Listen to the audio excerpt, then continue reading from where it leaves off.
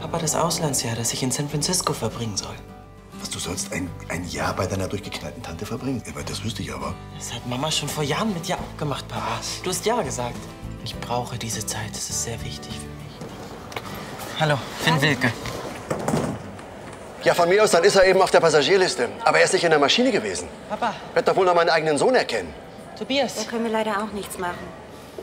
Ich lebe jetzt als Mädchen. Finn? Ich war schon immer ein Mädchen.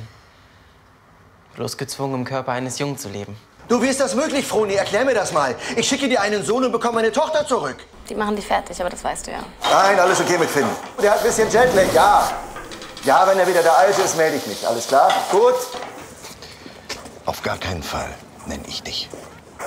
Helen, so möchte mein Kind zukünftig genannt werden. Beschreib mir doch mal deine Situation mit deinen Worten, Finn. Helen. Als ich klein war, da dachte ich, ich werde mal Frau. Mein Sohn will sich jetzt Brüste wachsen lassen. Ich meine, was soll ich dazu Sinnvolles sagen? Mir fehlt dazu irgendwie die weibliche Perspektive. Kennen Sie außer mir keine Frauen? Deine Tante hat was von deiner Mutter gesagt. Ist das deine Art, dich ihr nahe zu fühlen? Ist es das? Hast du dich auch nur einmal gefragt, wie ich mich damit fühle?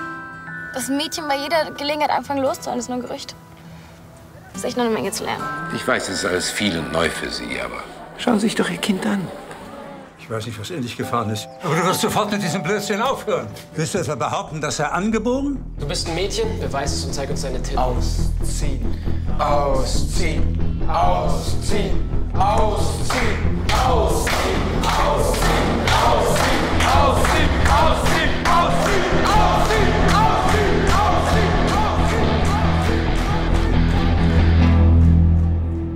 Vater hatte recht. Es war einfach nur eine Phase, mehr nicht.